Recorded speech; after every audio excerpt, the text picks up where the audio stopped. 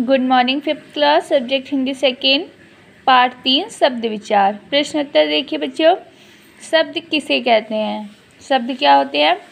दो या दो से अधिक वर्णों को, के सार्थक मेल को शब्द कहते हैं। वर्णों को मिलाकर क्या बनते हैं? शब्द। लेकिन उनका सार्थक शब्द होने चाहिए ना।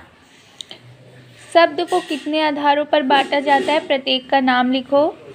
शब्दों का वर्गीकरण निम्नलिखित आधारों पर किया गया है। क्या क्या है वो? उत्पत्ति या स्रोत के आधार पर, अर्थ के आधार पर, प्रयोग के आधार पर और रचना के आधार पर।